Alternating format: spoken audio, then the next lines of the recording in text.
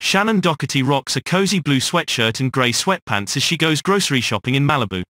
Shannen Doherty cut a relaxed figure while running errands in Malibu on Tuesday. The actress donned a dark blue sweater over a white t-shirt and grey sweatpants. She walked in dark grey and white sneakers, and she pulled a grey cap low over her eyes. The Little House on the Prairie actress protected her eyes from the harsh California sun with a pair of reflective Ray-Bans.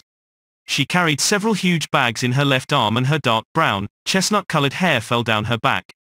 Doherty's day out was a rare day off for the perpetually busy two-time Bravo Otto Award winner. The Tennessee native recently completed filming on the upcoming movie How to Make a Deal with the Devil. She will play the devil in the film alongside German-American actor Matthias Hues and Battlefield 2025 actress Anna Harr. The hot seat actress is also rumored to have a role in Twilight of the Mallrats, a sequel to the 1995 Kevin Smith film Mallrats. She will reportedly reprise her role of Renee Mosier in the upcoming movie. While she was out in Malibu alone on Tuesday, she spends quite a bit of time with her husband Kurt Iswarienko. The couple married in 2011. Iswarienko was previously married to Ashley Hamilton in 1993 and 1994 and to Rick Salomon in 2003 and 2004 though that marriage was annulled. Thanks for watching and thanks for your precious time. We hope that you found this story interesting. Please comment your views down in the comment section.